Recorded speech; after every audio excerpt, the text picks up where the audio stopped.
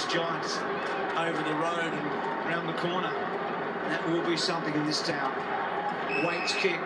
As good as they are, there's an argument they're not the best team in Sydney at the moment. we'll wait for a fortnight to work that one out, I reckon, don't you? It's over in court, though, isn't it? Well, it, but it's in debate. Absolutely. So Sydney by winning tonight, they take down the unbeaten North Melbourne. Now Sando had it cut off by Jones, in a big last quarter. Ball squeezing out the back. Hewitt getting it back, only as far as Cunnington. Whirls with a late goal, and he gets it. So North get the final goal of the match, where they lose that unbeaten record. Started well Wells, back in the team after a couple of weeks with the Achilles. And probably, Dennis, the scoreboard's a true reflection now. I mean, North for much of the match were challenging, but Sydney's had the best of it for the last half an hour. Oh, no doubt about that, Bruce. And generally over the night, there was just that second quarter where you really admired the sort of ability and application of North Melbourne to fight back. Half time, it was just nine points, but the second half certainly just belonged to Sydney. They've turned things around almost on the run, Sydney. This is pretty impressive stuff. They've got a lot of young players, but they're all good. And there's the final siren. Sydney winners. The unbeaten run of North Melbourne comes to an end after nine.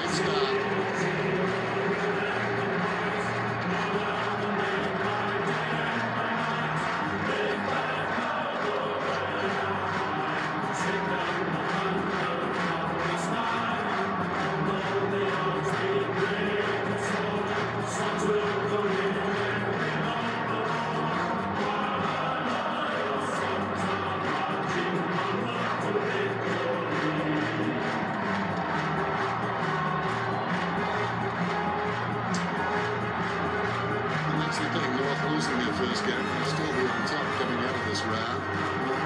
But just a little wake-up call. Having said that, some hard games to come. So then let's go down into Bolton News with one of the stars of the night in Dan Hannebery. Yeah, absolutely, Bruce. This guy was fantastic tonight. Dan, 34 disposals. The midfield really got on top. Oh, I think early the, the pressure was right on. They, uh, they really brought it. I think they're well, the number one team in terms of pressure differential before tonight, so we knew it was going to be a hot game and uh, we needed to withstand that. I thought we responded well in the third term um, and were able to hold on. So uh, great win against um, you know who I think are right up there in terms of um, you know the good teams this year. Tom Mitchell was just fantastic in there, just releasing from those stoppages. I mean, 10 goals for from stoppages is a big result. Oh yeah, Tommy. Tommy works really hard. He's um, he's a really hard contested ball player. He's, done a few different roles for us this year.